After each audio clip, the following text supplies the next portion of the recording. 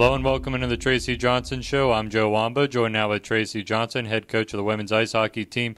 And, coach, uh, that rest, you, the weekend off you had last week really paid off. You guys go up to Salem State and really fill the net nine to two in the first game. Yeah, we found a way to find the back of the net, you know, nine times, and so that's that's great. A couple were power play, and that's what we really need to to start producing on is, is special teams, and so it was uh, an all around good effort and uh, follow it up with a quick uh, four to one win on on Saturday for you as well. Yeah, we were getting lots of shots on net, so um, you know you can't complain with that. That's one of our goals is to try to get as many shots on net as we can, and you know, good things happen when you do that.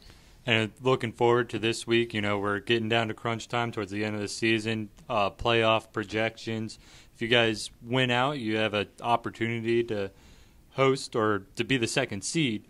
Uh, you're going to have to go through Morrisville State first. Exactly. So we have to stay focused on what we can control.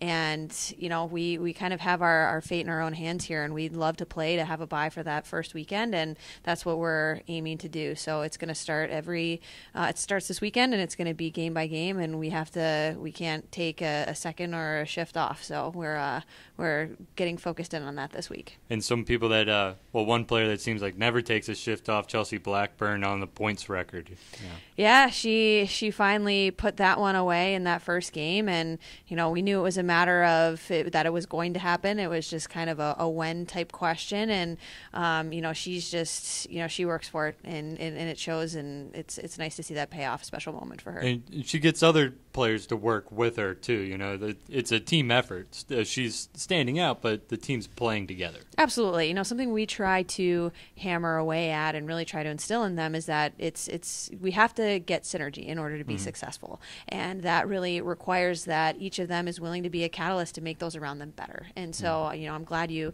mentioned that because she's definitely one of those players. And so, um, you know, we're excited to see what the whole team does collectively and uh, together as we go into this last stretch here. Well, Coach, we wish you the best of luck in this stretch, and two home games get to play them against Finally. Morrisville State on our home ice here. Yeah, we're excited for that. That's yeah. for sure. Well, Coach, good luck. Thank you. She's Tracy Johnson. I'm Joe Wamban. This has been the Tracy Johnson Show.